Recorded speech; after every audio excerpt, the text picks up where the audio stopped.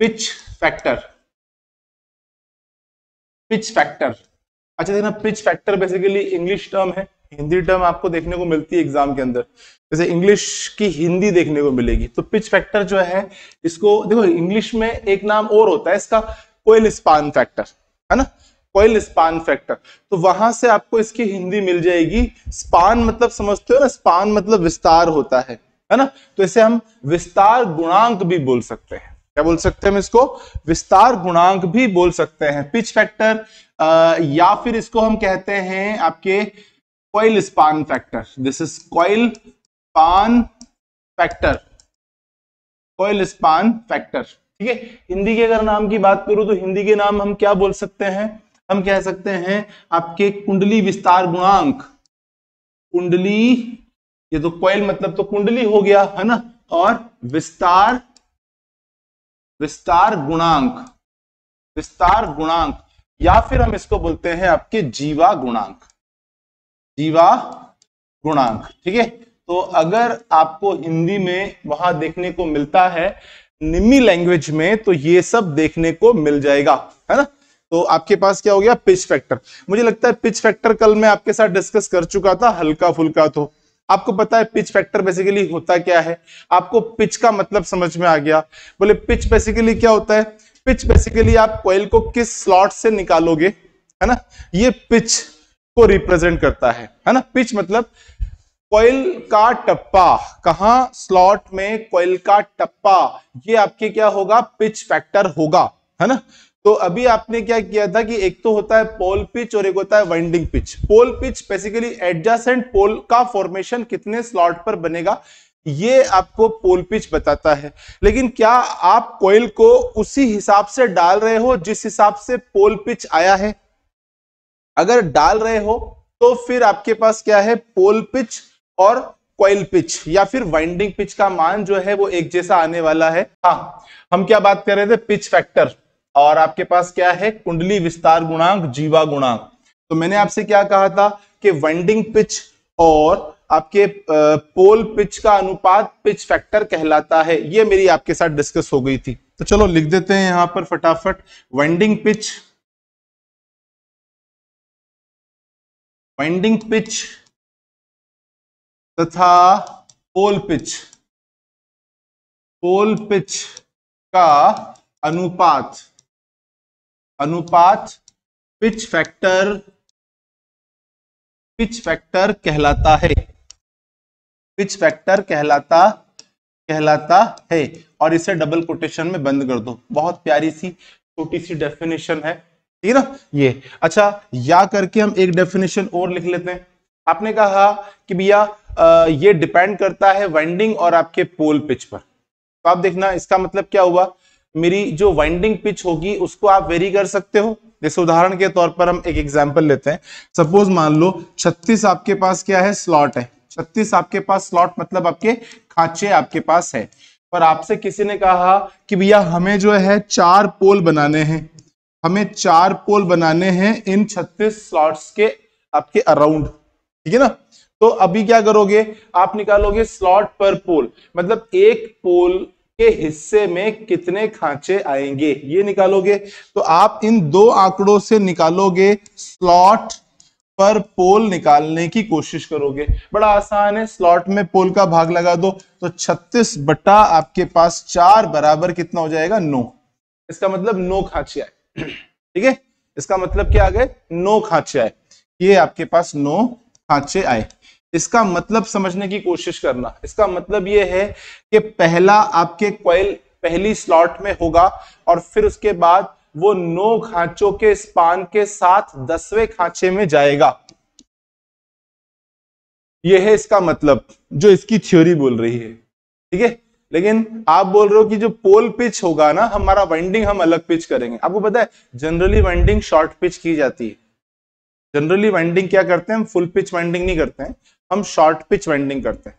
अब short pitch by one slot तो अगर मैं short pitch by one slot करता हूँ तो हो सकता है मैं पहले स्लॉट से फिर नवे से तार निकाल दूँ। और अगर मान लो मैं कहता हूँ short pitch by two slot तो short pitch by two slot में मैं आपके पास क्या है फ़र्स्ट टू आपके क्या है एट से ही निकाल दू। ऐसा कर दू। तो आप देखना, आपको निकालना कहाँ से था? आपको दसवें खांचे में से तार निकालना था। आपने निकालने की कोशिश कहाँ कहाँ से की? अगर मान लो वहाँ आया short pitch by one slot तो आपने निकाला वन टू नाइन अगर वहाँ लिखा आता है कि शॉर्ट पिच बाई आपके पास क्या है टू स्लॉट तो आपने वन टू एट निकाला। कई बार आपको दे देता है वो कि भैया तार जो निकला हुआ है ना, ये वन टू एट निकला हुआ है। वन टू एट निकला हुआ है। तो अभी स्पान कितने का हो गया यहाँ पे? सात खांचों का हो गया। स्पान कितने का हो गया? सात खांचों का हो गया। इसका मतलब क्या है? शॉर्ट पिच वाइंडिंग में इंड्यूस्ड ईएमएफ और फुल पिच वाइंडिंग में इंड्यूस्ड ईएमएफ का जो अनुपात है, वो क्या कहलाता है आपका? पिच फैक्टर कहलाता है। है ना? हम क्या कह सकते हैं कि generated EMF in short pitch winding और generated EMF in full pitch winding is known as आपके पिच फैक्टर। क्या बोलेंगे हम? Pitch factor. सभी को राम राम।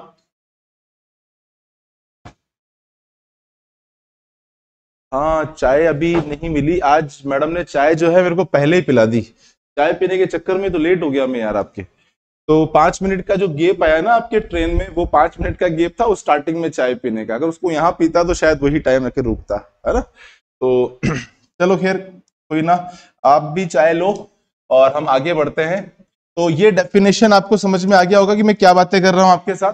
तो एक आपको मैंने और डेफिनेशन देना है और वो क्या है कि शॉर्ट पिच वाइंडिंग में आपके उत्पादित विद्युत वाहक बल और फुल पिच वाइंडिंग में उत्पादित विद्युत वाहक बल का अनुपात जो है वो पिच फैक्टर कहलाता है। बहुत नॉर्मल सी बात है है ना? तो क्या बोल सकते हैं हम? शॉर्ट पिच वाइंडिंग में short pitch short pitch winding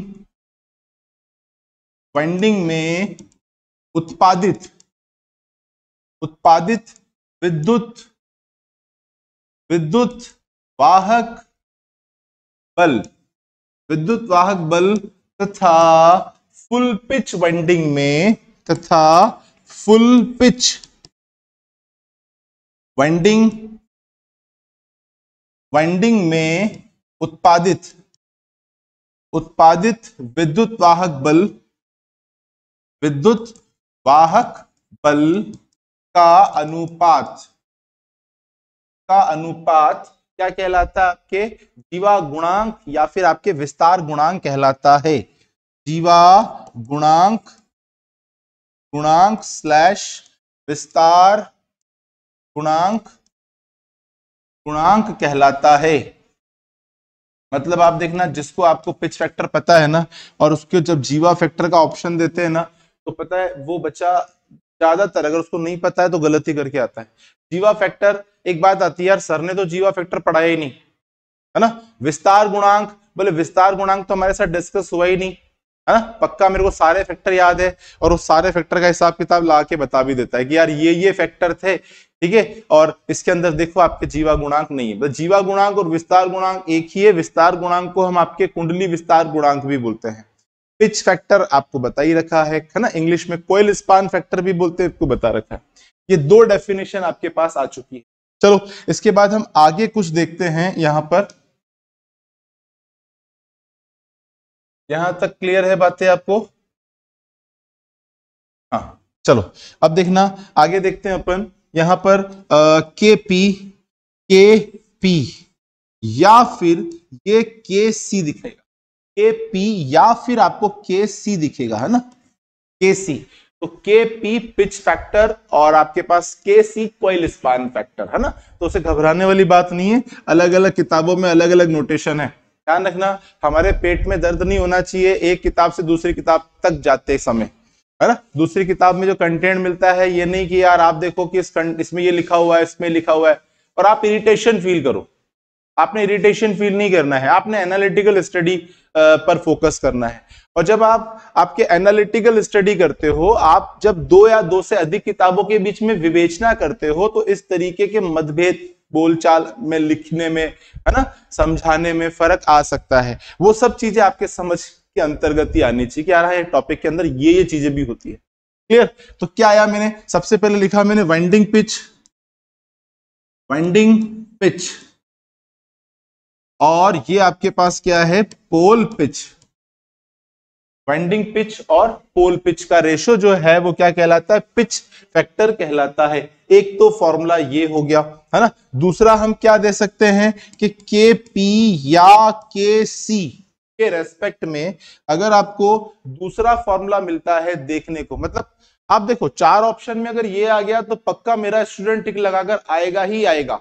लेकिन अगर चार ऑप्शन में ये नहीं छपा या उसने कुछ और ऑप्शनों को चुना तो फिर क्या लिखा हुआ जनरेटेड ईएमएफ इन शॉर्ट आपके पास क्या है? पिच वाइंडिंग और generated EMF in full pitch winding तो यहाँ पर आपके पास क्या होगा? Generated generated EMF generated EMF in short pitch short pitch ठीक है?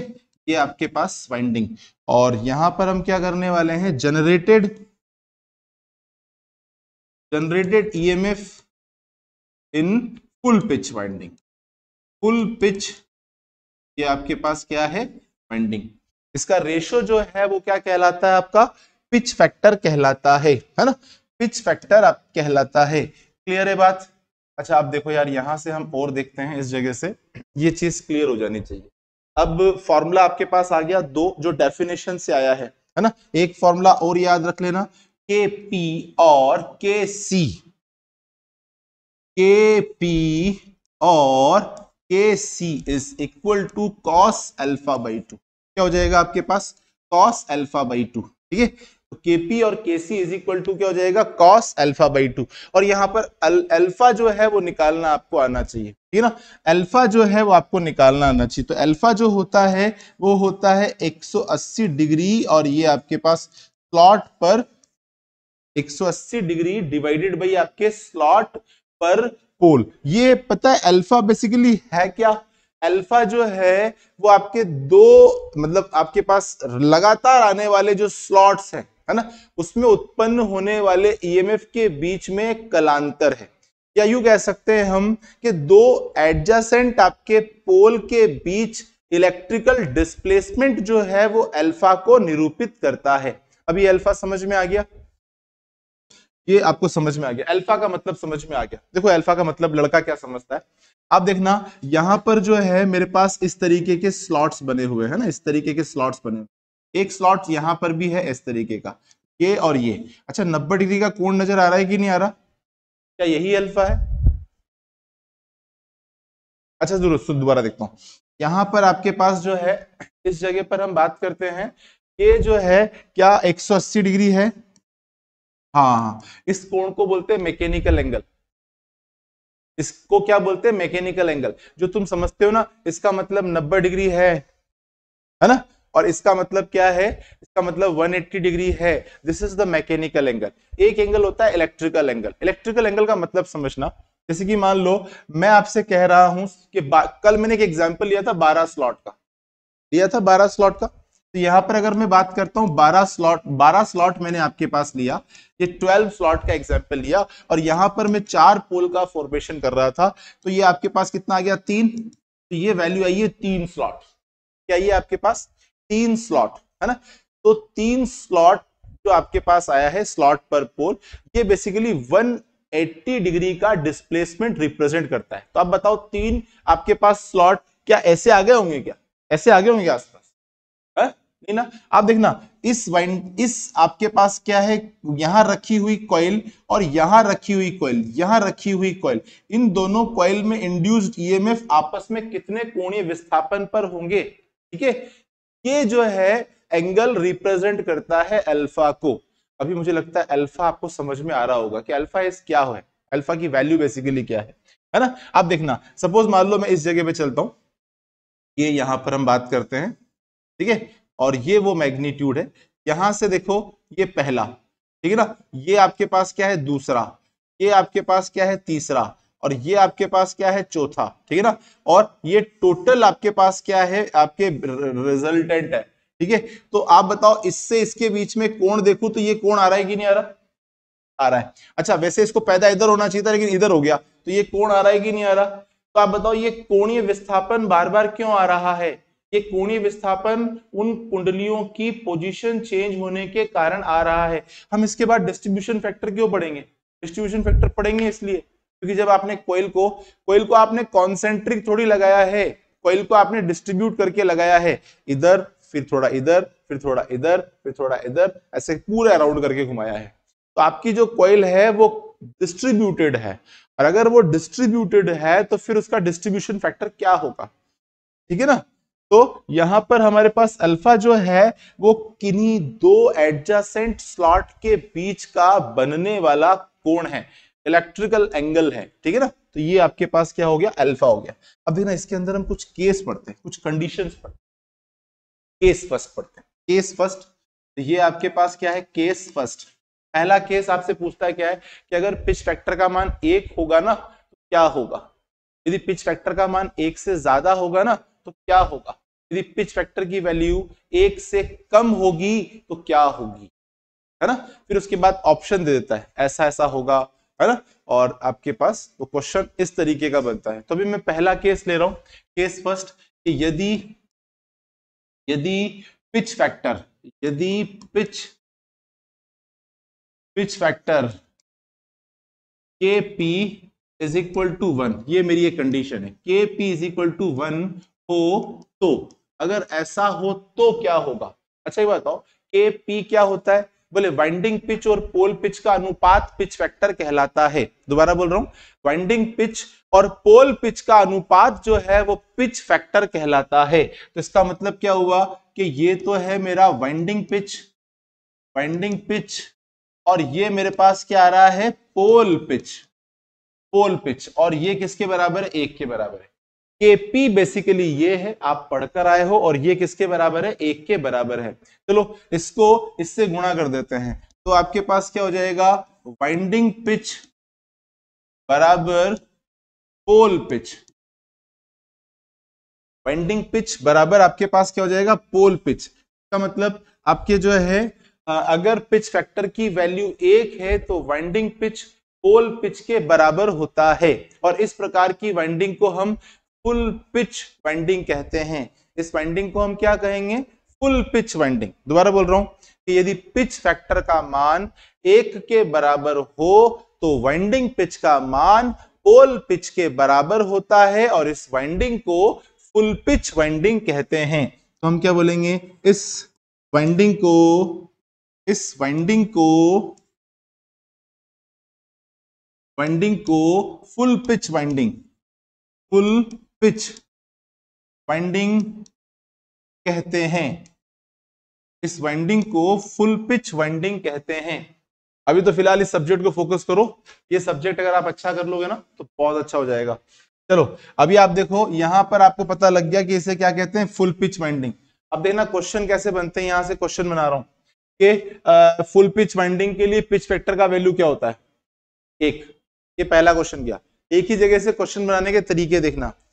फुल पिच वाइंडिंग के संदर्भ में निम्न में से कौन सा कथन सत्य है? तो कथन वाइंडिंग पिच का मान पोल पिच के समान होता है, ये सही कथन है। या फिर क्या करेगा? तीसरा क्वेश्चन एक ऐसा बनाएगा कि एक वेस्टर्न में वाइंडिंग पिच पोल पिच के बराबर है, आपके हिसाब से वाइंडिंग कौन सी?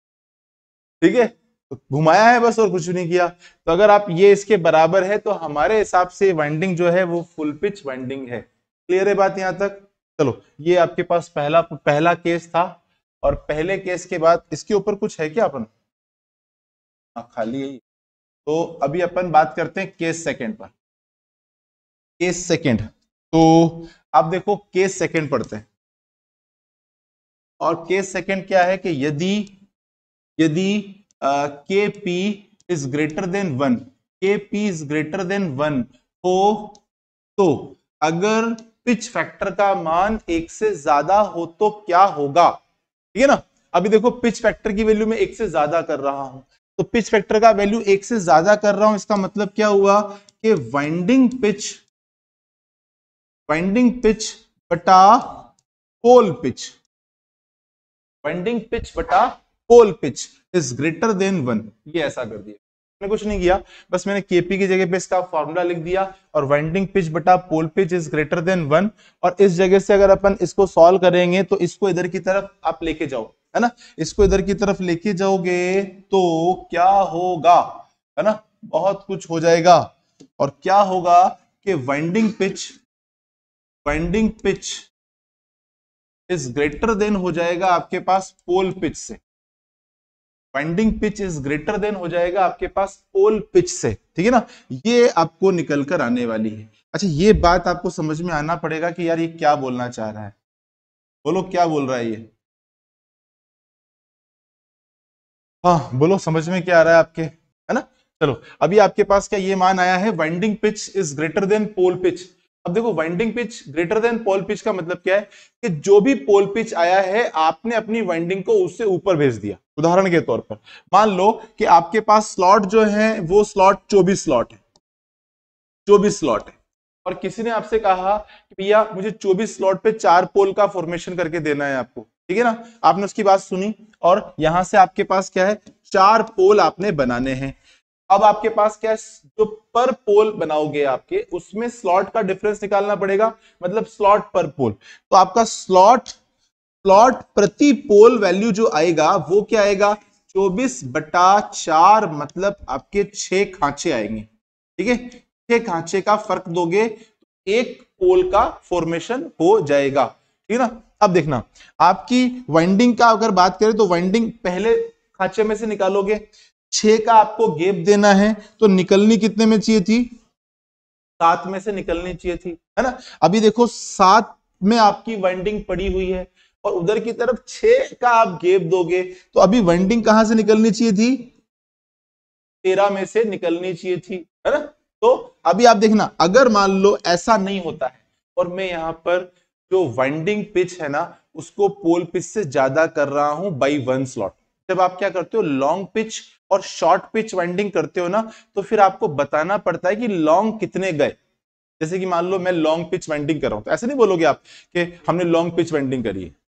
तो अगले आदमी को कंफ्यूज हो कंफ्यूजन हो जाएगा ना कि यार लॉन्ग पिच वाइंडिंग कर रहा है बट लॉन्ग कितनी? लॉन्ग तो लॉन्ग होती है। तो फिर आप उसे बताओगे कि भैया, मैं लॉन्ग पिच वाइंडिंग कर रहा हूँ बाई वन स्लॉट मैं लॉन्ग पिच वाइंडिंग कर रहा हूँ बाई टू स्लॉट है ना? ठीक वैसे ही जब आप शॉर्ट पिच वेंडिंग करते हो तो उसको बकायदा क्लियर बताते हो कि आप शॉर्ट पिच वेंडिंग कीजिए बाई वन स्लॉट आप शॉर्ट पिच वेंडिंग कीजिए बाई टू स्लॉट और थ्री स्लॉट तो आपको आइडिया लग जाता है कि यार ये चीज़ ऐसे ऐसे होगी। ठीक ना?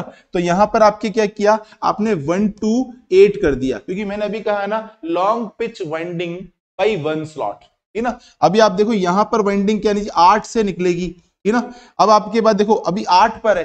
और आठ के बाद अपने किसके हिसाब से कितने में जानी चाहिए थी चौदह पे, है ना? लेकिन अभी निकालोगे कहाँ पर आप?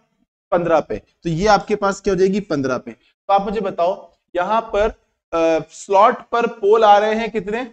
छह और आप वाइंडिंग को कहा भेज रहे हो? आठ पे। तो अभी आप बताओ, आपके पास सॉरी सात पे। तो एक से तो आगे कर रहे हो? सात पे, है ना? तो सात पे तो सात बटा जब आप छह करोगे तो वैल्यू आपके पास एक से ज़्यादा आएगी कि नहीं आएगी? बस वही जो है वाइंडिंग पिच का जो जो आपके पास पिच फैक्टर का वैल्यू है वो एक से ज़्यादा हो जाएगा। ठीक है ना? तो यहाँ देखो, यही बात कह रहा है कि वाइंडिंग पिच जो है इससे ज़्यादा हो ठीक है ना? तो इस वाइंडिंग को हम पता है क्या बोलते हैं? इस वाइंडिंग को लॉन्ग पिच वाइंडिंग कहते हैं। तो हम क्या बोलेंगे? इस वाइंडिंग को, इस वाइंडिंग को long pitch winding long pitch winding long pitch winding कहते कहते हैं। बड़ा पॉपुलर क्वेश्चन है। लॉन्ग पिच वाइंडिंग के लिए पिच फैक्टर का वैल्यू बताइए। है ना? नहीं, रामायण पसंद है। रामायण तो पसंद है। हम तीन भाई हैं और मैं राम बनता हूँ। छोटा वाला आपके पास जो है, वो लक्ष्मण बनता है और उससे छोटे वाले को हमारी इच्छा अनुसार बनाते हैं हम। कभी कभी हमारी इच्छा करती है तो उसको वो सूप रखा बना देते हैं आपके पास। कभी कभी उसको हनुमान बना देते हैं हम और कभी कभी आपके क्या है, उसको जो है कोई भी मतलब पात्र, तीसरा पात्र रामायण का हमारा वही होता था। तो बिल्कुल शॉर्ट एंड स्वीट और काम आने वाले नोट्स मेंटेन करेंगे हम, आप निश्चिंत रहिए और आपको अच्छा लगेगा। चंद्रपाल, आपको पक्का अच्छा लगेगा, पूरा का पूरा कोर्स ज़्यादा रामायण नहीं, बिल्कुल पॉइंट टू पॉइंट बात। मेरा मानना देखो क्या है, जब मैं बैचों में, ऑफलाइन बैचों में अक्सर बताता रहता हूँ, ये ऑनलाइन वाले बच्चे अभी संपर्क में आए हैं। आप देखना, एक टीचर ये है जिसने आपको क्या है, हंड्रेड लाइन लिखाई है। और सो लाइनों में से उसके दस क्वेश्चन बैठे हैं। ठीक है? सो लाइनों में से उसके कितने क्वेश्चन बैठे हैं? मात्र दस क्वेश्चन बैठे हुए और एक टीचर वो है जिसने आपको क्या है, मात्र आपके पास क्या है, दस लाइनें ही लिखाई है। मतलब दस लाइनें लिखाई है। और दस लाइनों में से उसके आठ क्वेश्चन बैठ गए। तो आप बताओ, इसमें से बेस्ट टीचर कौन है? दस लाइन वाला। ठीक है, लेकिन दिक्कत पता है कि आज के एरा में विश्वास नहीं करते लोग ठीक है? आज के एरा में लोग विश्वास नहीं करते। मैं जितना पढ़ा रहा हूँ, उसी से इतना सिलेक्शन करवाया है मैंने। और मुझे पता है कि क्वेश्चन पूछेगा तो कहाँ पूछेगा? इससे ज़्यादा नहीं पूछेगा। लेकिन नहीं, अभी होड़ मची हुई है ना यार? तो इसलिए क्या है कि भाई आपको ज़्यादा पढ़ाना पड़ रहा है। वरना आईटीआई वाला बच्चा, आप सोचो ना यार आईटीआई करता कौन है? आईटीआई के लिए एक बात बोली जाती है all India rejected ITI selected इस लाइन का मतलब आप समझ लो, अपने हिसाब से पता लग जाएगा। इसके अलावा अगर आप पढ़ नहीं रहे हो, पढ़ाई में आपका ध्यान नहीं है, आपका खेल कूद में बहुत ध्यान है, बाऊजी परेशान हो जाते हैं, फिर बाऊजी के मित्र सलाह देते हैं कि यार इस छोरे की आईटीआई करा दे नौकरी वोकरी लग जाएगा, बात खत्म। तो बग ले रखा है यार। है ना? अभी पीछे क्या कर रहा था, वहाँ पीपल के पेड़ पे चल गया, सफ़ेद कोलड़ी ओढ़ के। पाटे पे कराता यार, ऐसे कोई करता है क्या? यार हाँ? फिर बाद में तो पता चला जो मेरे को जो तो मार रहे थे वहाँ तो मेरे को पता लगा, तेरा छोरा है जो छुड़ा के लाया इसको मैं।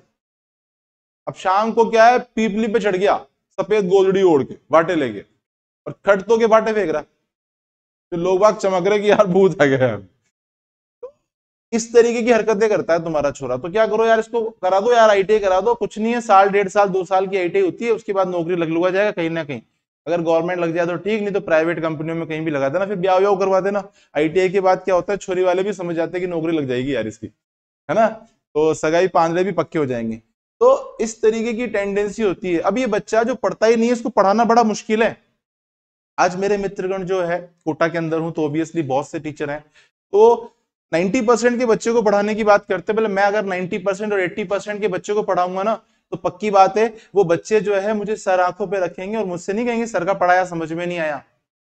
लेकिन अगर मैं आपको मेरे बैच में भेज दूँ तो मेरे बैच का बच्चा जिसका 48 परसेंट है है ना, उसको समझ में नहीं आया तो पता है वो क्या बोलता है? इस मास्टर को पढ़ाना नहीं आता। वो ये नहीं देखता कि मास्टर जो है वो आईआईटी वालों को पढ़ा रहा है। वो ये नहीं देखेगा कि वो आईआईटी वाली फैकल्टियों को पढ़ा रहा है। बहुत होशियार टीचर है। आप उसको पिच नहीं कर पा रहे हो। इसका मतलब वो सीधे सीधे आपकी गलती ही बताता है कि गुरुजी को जो है पढ़ाना नहीं आता, गुरुजी को समझाना नहीं आता। ताकि वो 90 परसेंट का बच्चा अगर नहीं समझाना तो पता क्या होता है? यार टॉपिक टफ है, थोड़ा सा इसको खुद को घर पे जाके पढ़ना पड़ेगा। वो तो कभी भी ये नहीं कहता कि टीचर को समझाना नहीं आया टीचर को पढ़ाना नहीं है पक्की बात है। पढ़ने वाला बच्चा। मतलब देखो मोर देन एट्टी परसेंट वाले का आपके आइडियोलॉजी कैसा है? और इस आपके 36 परसेंट से 48 परसेंट के बीच में पास होने वाले बच्चे की आइडियोलॉजी क्या ये टीचर को दो मिनट में रिजेक्ट करता है। है ना? तो ये फ़र्क पड़ जाता है। तो इसीलिए इस बच्चे को बहुत सोच समझ के और जो चीज़ें इसके काम की वो पढ़ाकर इसको भेजो और एग्ज़ाम में ये अच्छा कर ले। है ना? तो बहुत बड़ा अचीवमेंट होता है हमारे लिए। इस वाइंडिंग को लॉन्ग पिच वाइंडिंग कहते हैं। तो आपके क्वेश्चन देखो, वापस यहाँ पड़े हुए हैं। पहला पिच फैक्टर का मान एक से ज़्यादा होगा तो बताइए आपके पास क्या होगा? बोले long pitch winding long pitch winding के लिए पिच फैक्टर की वैल्यू क्या होगी? बोले एक से ज़्यादा होगी। इसके अलावा अगर आपको कथन देखने को मिलता है तो कथन ये मिलेगा, लॉन्ग पिच वाइंडिंग के संदर्भ में निम्न में से कौन सा कथन सत्य है? तो हम क्या बोलेंगे, लॉन्ग पिच वाइंडिंग के रेस्पेक्ट में जो पिच वाइंडिंग पिच का वैल्यू होता है, वो ज़्यादा होता है पोल पिच के रेस्पेक्ट में। ठीक ना? ये आपने ध्यान रखना है। चलो, इसका आखिरी केस डिस्कस करता हूँ मैं आपके साथ में। आप तो बस इस क्लासों को लाइक शेयर करते लीजिए कमेंट कुछ भी कीजिए। भले अगर आपको क्लास आज की पसंद नहीं आई ना तो डिसलाइक बटन दबा के जाओ आप, है ना? मैं डिसलाइक के लिए भी तैयार हूँ, है ना? तो लेकिन आप करिए कमेंट कीजिए, इस बच्चे इस क्लास को उस तक पहुंचाइए जिसको इसकी नीड है। जिस बच्चे को आपके क्या है, इसकी ज़रूरत है? अपने गाँव धाणी में बैठा हुआ है, कोटा आने के बारे में सोच रहा है, नहीं पढ़ पा रहा है, या वहाँ से कोटा नहीं आ पा रहा है, आर्थिक स्थिति के कारण ये वहाँ तक पहुंचनी बहुत ज़रूरी आप बताओ यार ऑनलाइन या इन क्लासों की ज़रूरत किसको है? आप लोगों को जो कोटा में बैठे उन लोगों को ज़रूरत है क्या? नहीं। अभी मान लो मेरे पास फ़ोन आया, गुजरात से बाऊजी फ़ोन करते हैं, और बाऊजी कहते हैं कि मैं अपने बच्चे को पढ़ाना चाहता हूँ, और मैं यहाँ कोटा भेजूँगा आपके पास। तो मेरी आत्मा नहीं मानी उसको बुलाने की। मैंने उसको फ़ोन पे बहुत जेन्यून सलाह दी मैंने कहा, देखो, ये कोर्स जो है इतना महँगा कोर्स नहीं है, कोई एक लाख का कोर्स तो मैं पढ़ा नहीं रहा हूँ। उसके लिए अगर मान लो आप एक डेढ़ लाख का खर्चा कर दो कोटा कोटा बहुत महँगा शहर है। आप अगर मान लो उस बच्चे को यहाँ भेजोगे ना तो मतलब आपका बहुत खर्चा हो जाएगा। तो मैं आपको ये सजेस्ट करूँगा कि आप ऑनलाइन पढ़िए। जहाँ मैं पढ़ा रहा हूँ, मैं बहुत अच्छा पढ़ा रहा हूँ। मैं खुद भी मेरी क्लासों को देखता हूँ और एज ए स्टूडेंट देखता हूँ। आप यहाँ पे जो मुड्डों पे बैठे हुए हो ना, मुझे पता है कि कहाँ कहाँ से ग्लेयर बनती है, कहाँ से आप बोर्ड से बहुत अच्छा उतार सकते हो। क्योंकि तो मैं हर मुड्डे पे बैठ के इस बोर्ड के व्यू को चेक करके आया हुआ आपको लगता है ना कि पीछे वाला बच्चा बैठा है तो वो जो बोलेगा मुझे समझ में नहीं आएगा, मुझे सब समझ में आएगा, क्योंकि मैं वहाँ भी बैठा हूँ और इस बोर्ड को मैंने वहाँ से भी निहारा है। ये लड़की बैठी हुई है, मैं यहाँ भी बैठा हुआ हूँ और इस बोर्ड को मैंने वहाँ यहाँ से भी निहारा है। पहले तो इस बोर्ड को भरा है पूरा, लिखा है और फिर बाद में वो उतारने वाली मुद्रा में। तो मुझे ये सब पता है कि यार यहाँ से क्या होगा। तो आप तो ऑनलाइन पढ़ाइए, मैं बहुत अच्छा पढ़ा रहा हूँ वहाँ पर आपके बच्चे को। आपके बच्चों को भी फोकस करें। और आप जब ऑनलाइन पढ़े, तब उसको थोड़ा माहौल दे। आप निगरानी रखें। क्योंकि यार देखो, आज आप यहाँ पर बिल्कुल सीधे क्यों बैठे हुए हो? क्योंकि मेरी निगरानी में हो। सोचो मैं आँखें बंद करके पढ़ाऊं तो आधे बच्चे तो इस झरोके के बाहर देख रहे हो। है ना? कि बाहर के झरोकों पे कैसा निशान नज़ारा है। नहीं क्या? और आधे बच्चे घूम कर आ जाए। कुछ बच्चे वॉशरूम में ही बैठे हुए हैं। है ना? वॉशरूम से बाहर ही नहीं निकल रहे। तो आपकी क्या है अगर यहाँ निगरानी ना हो तो आप अपने बच्चे पे थोड़ी निगरानी रखो ऑनलाइन क्लास के दौरान। और अगर फिर भी इसको कुछ डाउट होते तो लोकल कोई भी ट्यूटर जो वहाँ पर बढ़िया रेटिंग लेके बैठा हुआ हो उससे आप पढ़वा लो। तो यहाँ मेरा गाइडेंस भी चलेगा। इसके अलावा लोकल जो ट्यूटर है वो भी वही पढ़ाएगा तो आप उस, उससे पढ़वा लोगे। आप सोचो यार कहाँ गुजरात और कहाँ राजस्थान?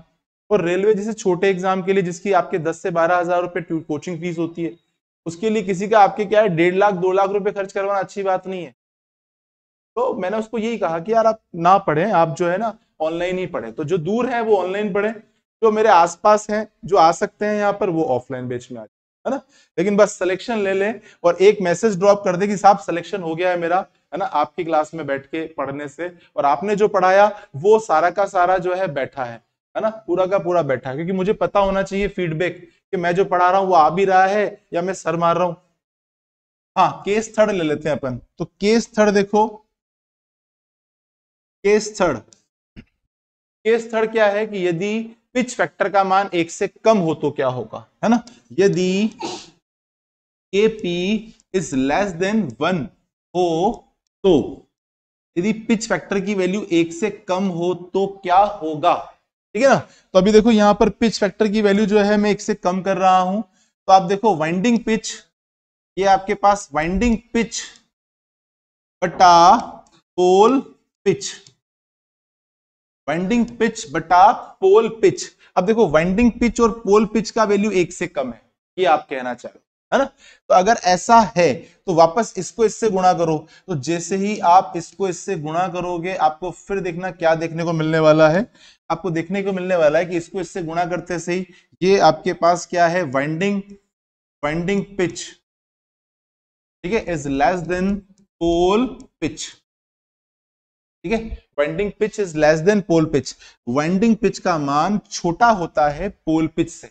और अगर वाइंडिंग पिच का वैल्यू मतलब जो मेरी वाइंडिंग है, जो मेरी कोयल है, वो पोल पिच के स्लॉट से पहले पिच कर है। ना?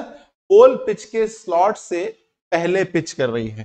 ठीक है? तो वाइंडिंग पिच का मान छोटा होता है पोल पिच से। ठीक है? अर्थात इस वाइंडिंग को हम क्या बोलेंगे? शॉर्ट पिच वाइंडिंग तो यहाँ पर मैं आपको पहला पॉइंट दूँगा। इस वाइंडिंग को शॉर्ट पिच वाइंडिंग कहते हैं। मतलब वे वाइंडिंग जिसमें वाइंडिंग पोल पिच से पहले आपके क्या है? रेस्ट कर जाती है, उसे हम क्या बोलेंगे? शॉर्ट पिच वाइंडिंग कहते हैं। तो इसे इसे short pitch winding short pitch winding कहते हैं। इसे शॉर्ट पिच वाइंडिंग कहते हैं। पहला पॉइंट क्लियर हो गया कि बेसिकली ये है क्या? बोले शॉर्ट पिच वाइंडिंग अच्छा दूसरा पॉइंट आप देखो जरा। कि शॉर्ट पिच वाइंडिंग का इस्तेमाल ही हम ज़्यादा करते हैं। ठीक ना? हम क्या करते हैं? शॉर्ट पिच वाइंडिंग का उपयोग ज़्यादा करते हैं। कैसे लिखेंगे? प्रायः शॉर्ट पिच वाइंडिंग का उपयोग अधिक किया जाता है। है ना? तो प्रायः प्रायः short pitch winding short pitch winding का प्रयोग प्रयोग अधिक किया जाता है। अधिक किया जाता है है ना? मैं जनरली बात कर रहा हूँ। मतलब आप ये नहीं बोलोगे कि आप शॉर्ट पिच वेंडिंग का उपयोग किया जाता है। एज पर रिक्वायरमेंट हम फुल पिच भी लगाने वाले हैं, हम लॉन्ग पिच पर भी जाने वाले हैं। आप न्यूमेरिकल देखोगे तो फुल पिच और लॉन्ग पिच दोनों के अवेलेबल है। लेकिन हाँ इनके रेस्पेक्ट में शॉर्ट पिच वेंडिंग का ज़्यादा उपयोग करते हैं। कारण उसके पीछे देखना कि शॉर्ट पिच वेंडिंग में हमें कॉपर की बचत होती है और कुछ इलेक्ट्रिकल एडवांटेजेस भी होते हैं। अब देखो, चूँकि यहाँ मैं फैक्टर पढ़ा रहा हूँ तो इलेक्ट्रिकल एडवांटेजेस पे बात नहीं करूँगा। है ना? अभी आपने किसी प्रकार की कोई मशीन मेरे साथ डिस्कस नहीं करी है तो अभी अगर मान लो मैं उस पिच को एक आगे भेजूँगा और फिर मैं आपसे कहता हूँ कि यार ये वैल्यू भी इसका फ़ायदा हो जाएगा, इसका फ़ायदा हो जाएगा तो आपको कोई फ़ायदा समझ में नहीं आने वाला। अभी आपको मोटा मोटा एक फ़ायदा समझ में आएगा कि यार एक स्लॉट आगे करने से कंडक्टर बच जाएगा। और हो सकता है कि कोई लड़का ये भी कहते ओ, एक खांचा आगे भेजने से कौन सा तार बचा लोगे आप? हा? एक खांचा आगे करने से कोई तार बचेगा? क्या बचेगा तार? है ना? ये भी सोच सकता है। तो इसका मतलब वो गलत नहीं सोच रहा। क्योंकि तो मुझे भी तो ऐसा लग रहा है ना, यार एक बात बताओ, ये स्लॉट बिल्कुल पास पास एक बात बताओ, ये उंगलियाँ है ना? मैं यहाँ से धागा लपेट कर यहाँ लपेटू और यहाँ से धागा लपेट के यहाँ लपेटू। कितना तार बच, कितना धागा बच जाएगा? है? कितना बच जाएगा? ज़्यादा तो नहीं बच रहा ना? कंसिडरेबल नहीं बच रही ना? है ना? तो ऐसा सोच सकते हैं अपन। लेकिन फिर भी ये कह रहे हैं कि कॉपर की बचत होती है तो कुछ ना कुछ बात तो होगी। बस वो क्या बात है, वो अपन समझने की कोशिश करेंगे। एक बात तो समझ लेना कि शॉर्ट पिच वाइंडिंग का प्रयोग प्राय अधिक किया जाता है। यदि वाइंडिंग पिच का वैल्यू कम हो पोल पिच से तो इसको हम क्या कहते हैं? शॉर्ट पिच वाइंडिंग कहते हैं, ठीक ना? और इसमें कॉपर की बचत होती है, ठीक है? इसमें क्या होती है? इसमें कॉपर की बचत होती है। तो short pitch winding short pitch winding में कॉपर कॉपर की बचत होती है। बचत होती है। तो शॉर्ट पिच वाइंडिंग में जो है, वो कॉपर जो है, वो बच जाता है। अब एक बात समझना। सपोज़ मान लो एक वाइंडिंग की गुच्छी मैंने बनाई। तो क्या उस एक वाइंडिंग की गुच्छी में केवल एक ही टर्न होंगे? एक टर्न नहीं होंगे। मान लो उसमें 500 टर्न है। तो आप बताओ, एक स्लॉट आगे करने से उन 500 टर्न के रेस्पेक्ट में फ़र्क कितना पड़ा? मतलब समझो सपोज़ मान लो, एक टर्न पर आपको एक सेंटीमीटर एक सेंटीमीटर का ही फ़र्क पड़ा। एक टर्न के रेस्पेक्ट में आपको एक सेंटीमीटर का फ़र्क पड़ा। एक सेंटीमीटर वास्तव में बहुत छोटा है। आप जो सोच रहे हो ना, वो बिल्कुल सही सोच रहे हो। ऐसा क्या हो जाएगा यार एक सेंटीमीटर बचा के? लेकिन एक बात बताओ, अगर आप जो है एक, आपके पास कोयल को तैयार करने में टोटल नंबर ऑफ़ टर्न कितने ले रहे हो? आप फाइव टर्न ले रहे हो। हा? और ऐसे 500 500 आपने पूरी वाइंडिंग पे सेट कर रखे हैं। अब आप सोचो, एक आपके पास क्या है? बंच के फॉर्मेशन में आपके नंबर ऑफ़ टर्न 500 होंगे तो बताओ 500 सेंटीमीटर का तार बचा कि नहीं बचा? हुँ? हम्म? और ऐसी अगर मान लो आपने आठ कोयले भी बना रखी है तो ये इंटू आठ कर लो। हो गया? आठ पंजे चालीस, हो गया? ना ये, यहाँ रोक लो बस तो ये आपके पास क्या है? अब आप सोच लो कितना तार बचा लिया आपने। तार बचा कि नहीं बचा? है ना? तो इसका मतलब आप गलत सोच रहे थे एक स्लॉट आगे करने से क्या हो जाएगा? भाई साहब, बहुत फ़र्क पड़ जाएगा एक स्लॉट आगे करने से। है ना? तो यहाँ पर हमने क्या किया? ये चीज़ आपको समझा दी कि आप सही सोच रहे थे कि मैं सही सोच रहा था। इसका मतलब एक स्लॉट दो स्लॉट आगे करने से बहुत फ़र्क पड़ने वाला होगा। ठीक है ना? तो यहाँ पर शॉर्ट पिच वाइंडिंग में कॉपर की बचत होती है और साथ में मैं एक पॉइंट और मिले दूँगा कि आपको क्या है? शॉर्ट पिच करने से बेसिकली होता क्या जैसे अभी आप देखना, मैंने आपको नंबर ऑफ़ स्लॉट्स लिखे। कल भी आपने नंबर ऑफ़ स्लॉट्स आपको दे रहा था और अभी आज भी मैं नंबर ऑफ़ स्लॉट्स आपको दे रहा हूँ। देखो मैंने क्या स्लॉट लिखा। शुरू में मैंने जो स्लॉट इस्तेमाल किए थे वो 12 स्लॉट इस्तेमाल किए थे। याद करो फ्लैशबैक में जाके। 12 थे। अच्छा आज ही की क्लास में मैं 24 स्लॉट यूज़ किया था। किया था 24 स्लॉट अच्छा आज की क्लास में मैंने एक 36 स्लॉट और यूज़ किया है। यस और नो छत्तीस यूज़ किया है है ना? अच्छा आज की स्लॉट में मैंने आपके पास क्या है? ये 48 और यूज़ किया। अच्छा 48 यूज़ नहीं किया, लेकिन 48 यूज़ होते हैं। क्लियर अब देखो, मैं इन सबको मतलब अगर इसको इसको तो अपन नहीं, इसको यूज़ नहीं करते क्योंकि ये प्राइम नहीं देगा, है ना? लेकिन आप बताओ, अगर मैं इसको एक स्लॉट कम करूँ तो क्या मिलेगा? अच्छा बताओ, अगर मैं इसको एक स्लॉट कम करूँ तो क्या मिलेगा? तेबीस अच्छा इसको अगर मैं एक स्लॉट कम करूँ तो क्या मिलेगा? हा? आपको कोई खास बात नज़र नहीं आ रही इन सारे अंकों में? एक कम करते से ही आपको जो नंबर मिले, वो प्राइम नंबर मिले। तो नंबर ऑफ़ स्लॉट्स आपको प्राइम देखने को मिल रही है। साथ में एक आपके पास क्या है? ब्लैंक स्लॉट मिला है, जिसमें हम डमी रेस्ट करवा सकते हैं। डमी समझते हो ना? डमी क्या होती है? Dummy winding tertiary winding dead coil जो इलेक्ट्रिकली आइसोलेटेड होती है, लेकिन फिर भी बहुत अच्छा परफॉर्म करती है। ठीक है? तो ये सब जो है, हमें इलेक्ट्रिकल एडवांटेजेस देंगे। तो शॉर्ट पिच वेंडिंग का इस्तेमाल हम केवल और केवल कॉपर बचाने के लिए नहीं कर रहे हैं। इससे हमें इलेक्ट्रिकल एडवांटेजेस भी होंगे। इससे हम आपके क्या है जो आपके वैद्युतिक फ़ायदे भी होंगे इलेक्ट्रिकल एडवांटेज मिलते हैं। इसके, यहाँ मैं सिर्फ़ इतना सा शब्द लिखाऊँगा कि इसके इलेक्ट्रिकल एडवांटेजेस मिलते हैं। और जब जब मैं वो एडवांटेजेस पढ़ाऊँगा ना, तब तब आपको बताऊँगा कि देखो यार, ये डमी कोयल यहाँ पे काम आ रही है। और ये डमी कोयल हम वहाँ से लाए थे, उस जगह पे जब हमने शॉर्ट किया था ना तो वो क्यों किया था? इसलिए किया था। ठीक है ना? तो इसके इसके इलेक्ट्रिकल इलेक्ट्रिकल एडवांटेज इसके इलेक्ट्रिकल एडवांटेज भी प्राप्त होते हैं। प्राप्त होते हैं, ठीक है? तो ये इलेक्ट्रिकल एडवांटेज क्या होते हैं? इस पर समय समय पर मैं आपको बताता रहूँगा कि यार ये देखो मैं इलेक्ट्रिकल एडवांटेज हो गया, जब हम मशीन डिस्कस करेंगे, ठीक है? उतारो फटाफट, फिर आगे की क्लास में बात करते